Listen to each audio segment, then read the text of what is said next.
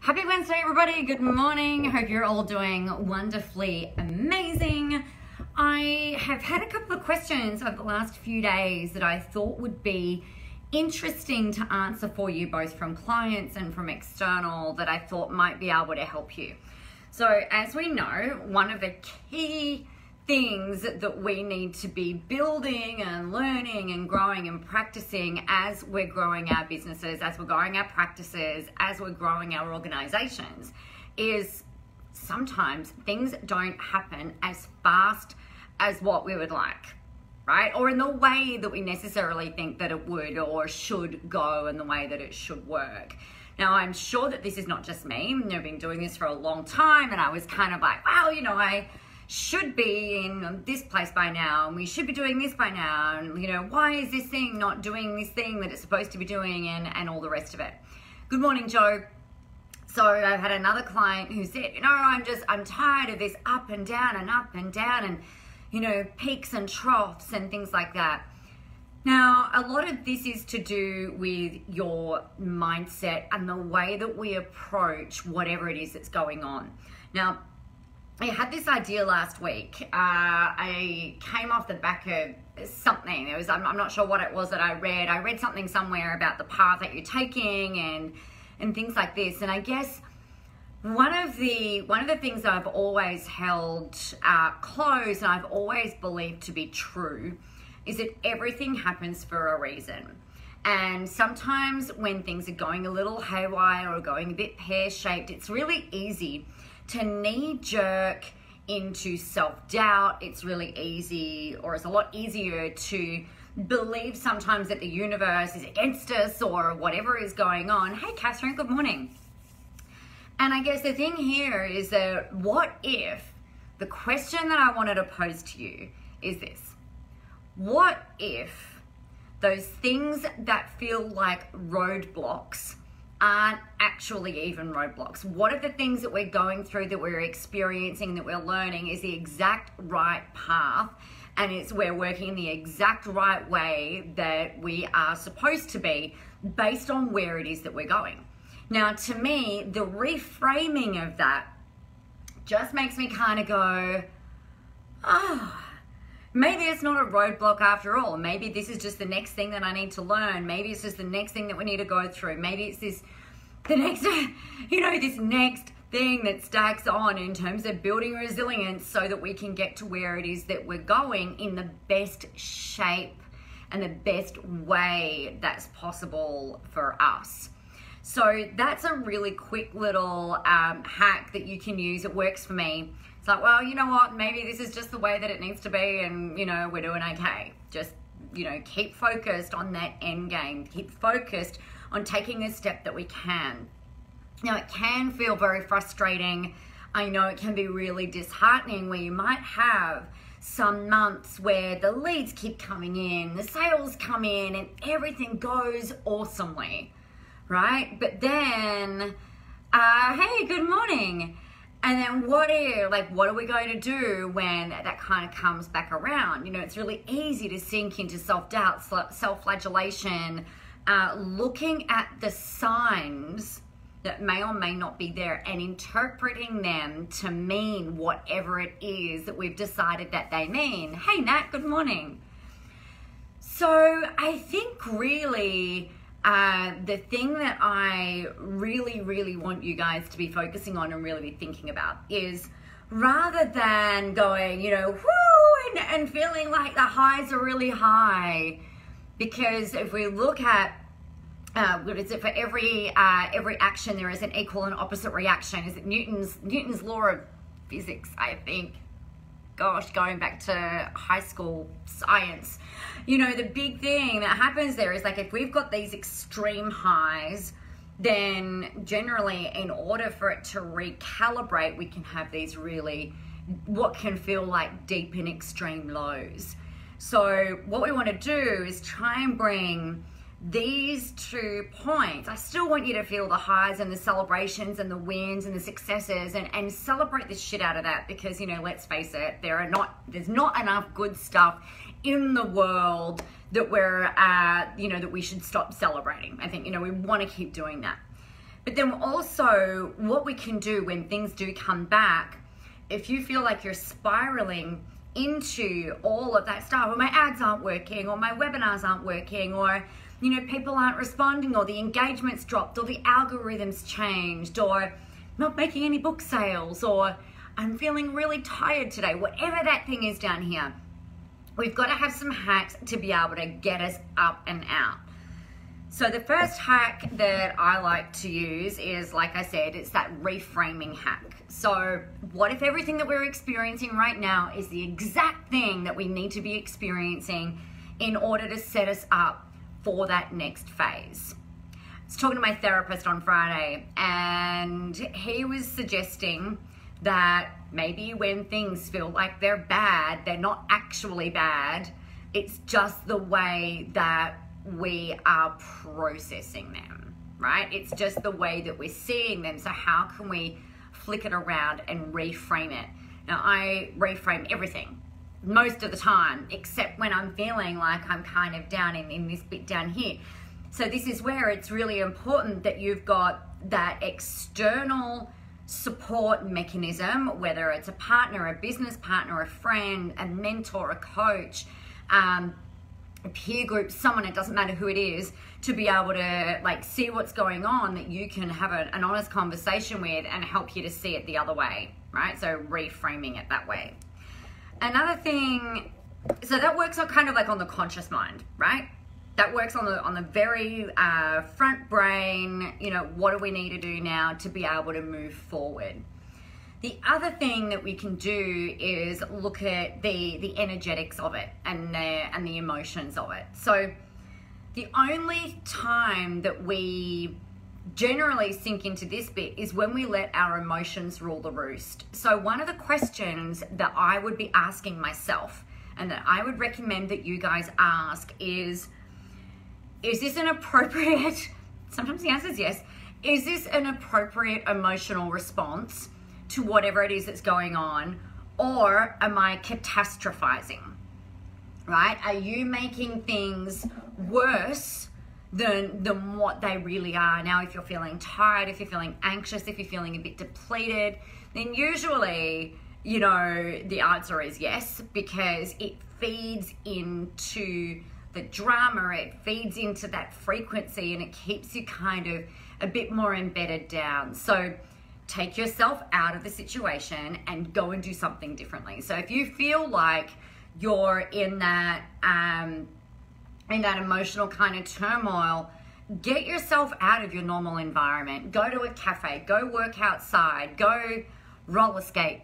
Uh, you know, go do whatever it is that you need to do to get yourself physically out of that situation, because motion creates emotion right? Thanks, Tony Robbins, for that little number. I'm pretty sure it was him. So, the thing that happens is that motion creates emotion, and when we're moving, our adrenaline kicks in, our endorphins start kicking in, it starts releasing the dopamine and the serotonin in our brain, which then helps us to have the ability to be able to look at things in a um, in a in a much more uh, I, I, I want to say analytical and that's not kind of what I mean. It gives us a different perspective right? So get yourself moving get your body moving. Exercise is awesome uh, going for a walk doing whatever it is that you can to get moving and to get things flowing. So that's kind of like your physical thing. The next thing that I would look at is a salt bath. Now this is one of the, the a really awesome little hack that I've learned from um, energy teachers over the years. And I, I really like this one. I'm a huge fan of, of baths, bathing. So if you were to get a, you can buy in a supermarket or a grocery store, you can buy big bags of just salt, like cooking salt, table salt. It doesn't matter. It does not have to be Epsom salts, right? The, the doesn't need to be expensive.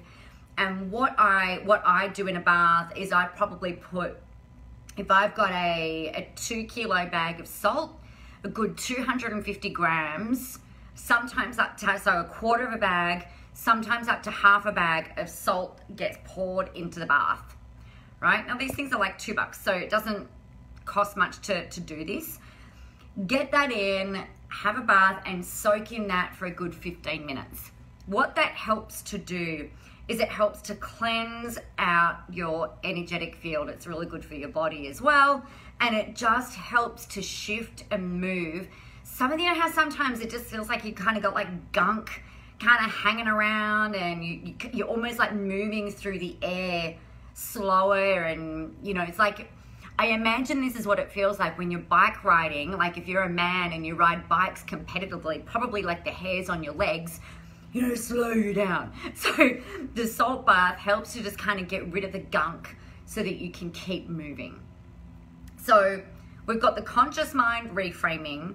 We've got the physical body get moving, get the um, get the get the body moving because that helps to change the emotions that you're feeling, right? Make sure that you've got that external support network as well around you so that they can help remind you that, you know, you're, you're okay, you're doing good, you know, this is what we need to do to move forward. And then also work on the energetic body. Hey, Kelly, which is where the salt baths come in. And it's also really nice and really soothing. Um, that will help you. The next thing, once you've done those three things, or you're doing these three things regularly, the other thing that, oh, and then uh, reminding yourself that the, the path that you're on is the exact right path and it's helping you to build resilience. Yeah, I know. I wish we could all just be resilient already and just, you know, make it freaking work. But I, I'm slowly learning the, the, the art of patience. It's driving me crazy. Um, but just knowing that you know you're, you're on the right path you're on the right track what you're going through and what you're experiencing is exactly what's needed and exactly what's necessary in order for you to get to where you're going. You know it's a little bit like if you're going to the gym and you want to build a i'm not even going to flex my arms because even if i did it wouldn't look any different. So if you wanted to build really big biceps right you would go to the gym and you would get the dumbbells and you would start lifting weights. Now, what that does when you fatigue your muscles, it actually breaks apart the fibers, right? And then it's in the repairing and the rebuilding of those fibers that they start to become bigger, they become stronger, they knit together differently, but they've got to break almost before they can before they can get bigger, before they can get stronger. Building resilience is the same. And you know what? It sucks it absolutely sucks because why should we have to go through pain in order to get to where it is that we're going? But unfortunately, that seems to be the nature of things. So be be okay with things not always working, but have these little things in place or working the way that we think that they should be. Have these little things in place in order to get you up and out of that dip uh, as quickly as you can. Also, just acknowledge that sometimes that dip might be five minutes, it might be a day, it might feel like a week, it might be a month, whatever it is, breathe through it. The more you resist it and the more you push back against it, the harder it is to come back up and, and swing back up and around on, on the path that you want to be. Sometimes you need to take a step back in order to move forward, right? So that's that. So once you've got all of that down, we don't just want you to go, okay, great, that's great. You know, everything is happening the way that we want it to. We still need to take action. So when you feel like you, you, you've done that bit on the mindset, you've done the work, you're, you're ready to come and kick back up, now it's time to start getting into strategic action, right? And you need to know where you're going in order to make that happen. So what is one thing, what would be one thing, just one thing that you could do that moves the needle a little bit, that shifts just a little bit, that takes you that one step forward to getting you what it is that you want, one step closer to you hitting that goal. Because it's in action that creates results, right? So we've got to be really, really mindful that you've got that um, ability to be able to take action, take a step, and then once you've done that, we'll take another step. And then once you've done that, you'll take the next step. And once you've done that, you'll take the next step. But the only way you're going to get to where you're going to go is by taking action, right? So make sure you're, you're taking action from a an inspired place, from a knowing where you're going and, and getting things done in that way. So that's me for today. Um, I've had it, like I said, there's been a few people that have been like, this isn't happening as fast as what I'd like. You know what? Sometimes things take time and things move so fast, and we're so used to instant gratification, to turning on our phone, seeing a notification, and, and making that stuff, you know, ha- seeing this stuff happen reasonably quickly. Just remember that things take time and even though things are happening faster than what they ever have before, it doesn't mean that things are going to happen instantly. All right. So make sure you've got your expectations set in a really um, helpful way. All right. Cool bananas. Hey, Kelly. Good morning. Tamara. Such a timely message. Thank you. You're very, very welcome. All right, guys, have a beautiful Wednesday. I am going to be chatting with you tomorrow morning about something that you want to know what to do. So if you've got some questions, hey Ryan, good morning. If you've got questions about anything to do with social media marketing, business, mindset, hey Steve, hey Steve, anything that you want to know, let me know. Really super happy to answer them for you tomorrow. Um, and that's that. If you haven't registered for Spy School yet and you're coming or you want to come to the Gold Coast in two weeks' time, let me know. Just message me and we'll um, get on to that and we'll go from there. All right, everybody, have a really great day. I'll talk to you all tomorrow. Bye.